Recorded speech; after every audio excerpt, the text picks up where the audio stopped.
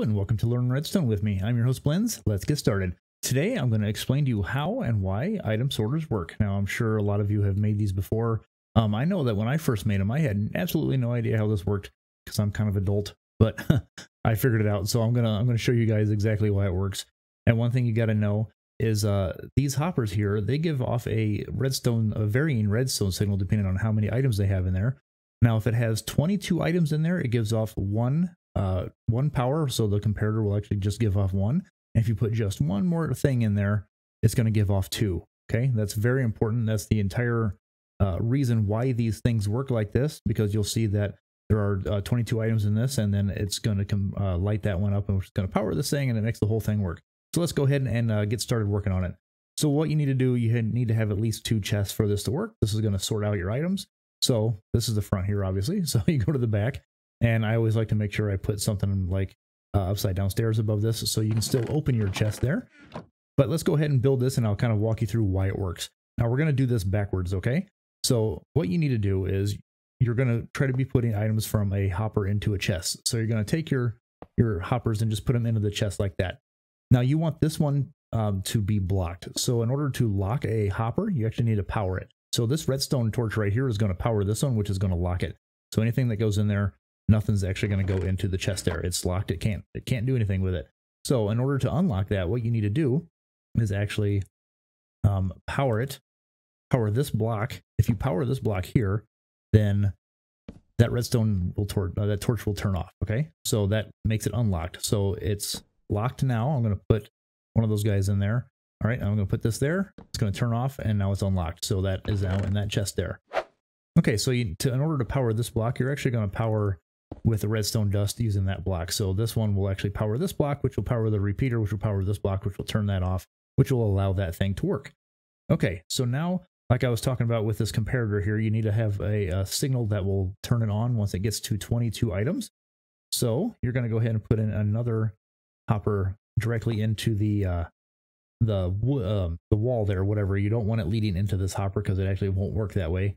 Um, if it's not directly connected to it, then then this thing will actually uh, turn it off. If it is directly connected to it, um, that won't it won't work. It'll, it'll just start flowing down there. So that needs to be facing into the wall there. So we're just going to go ahead and do that with both of those. So you're going to be putting your 21 blocks in here. So you can use whatever unique blocks that are not going to go through your system. And if you want to use beacons, I guess it's a weird flex, but you do you. And then go ahead and put your 22nd item in there. So this block now with that comparator so we're going to uh, do that. Is you're going to see that it has a, a very weak signal to it. So that turned on, so that means there's a little signal. And you put your redstone dust, if I can grab the right one right there, that one is powered. But if you put one more item in here, it's going to power this block, which will power that, which will turn this off, which will open that one up to go. So let's go ahead. I'm going to try to position myself so you can actually see, go up a little higher, so you can actually see this uh, redstone torch and this block right here. If I put one more cactus in there, you are going to see this turn on, this one turn off, and then a cactus is going to end up in the hopper right below there. So let's just do that. So you see that real quick there? Now there's a cactus right here. So it, it turns it off just enough for one item to change through there.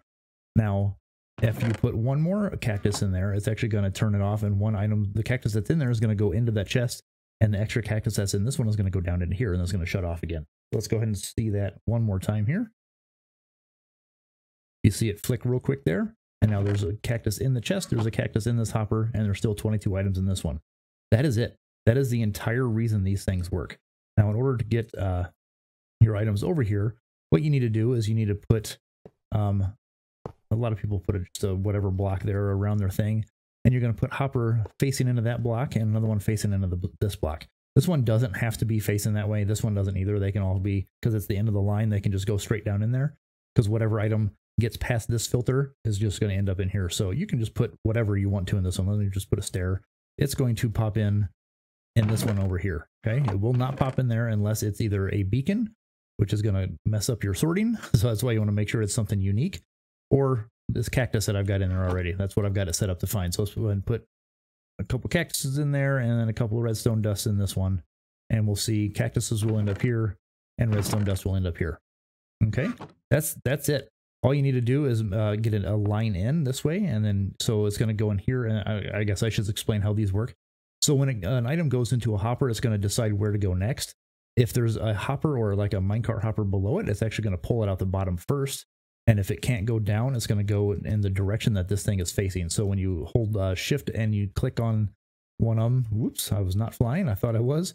You click on it, you can actually see that it actually goes into the spot that you click on. Okay. So this one going to try to go down, but it can't. So it's going to go over to here. Once it gets in here, it's going to try to go down. Since it's being filtered out, if it's a cactus or a beacon, it's going to go down there. If not, it's going to go over to this one. And this one is just going to go down and doesn't have anywhere else to go. And it's just going to go right down there. That one's not being stopped at all. So that's why anything else goes into that one. And if you want to make this longer and do a whole bunch more, all you got to do is just keep putting these in here. These are just tileable one wide. Um, and then you just have an input chest like we got right over here. It just goes into this hopper. You can have this input chest come all the way around here if you want to. It doesn't matter where you put it. You can just put your chest up there and now that's the input chest. So we'll just put, um, we'll do those in there, those in there, those in there, and some of those, and we'll see what we get. So this one is just going to, oh, that's right, because that one was cactuses. See, I have cactus filter in this one out, so it actually just screwed that up. So now it's going to have 19. So I got to actually get rid of all but one of these, probably quicker that way, and then put that back in there. And I don't think it's, supposed to be torches, isn't it? Yep, there you go. See, I broke it because I had cactuses as the unique item that was never going to go in there. I put beacons on this one. That's why it screwed me up. So the cactus ended up down there because I did it wrong. See, that's that's how easy you can mess stuff up if you if you put something in there that um, doesn't get filtered out.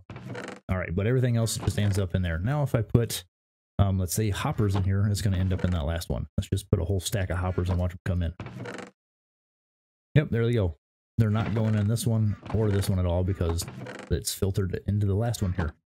Okay, I hope my explanation of how these work has helped you and taught you something, and now you can uh, design these and you'll remember how to do them. You won't have to keep looking up tutorial videos like I used to when I was first building these. But if you enjoyed this video, please like and subscribe and feel free to leave a comment. See you later.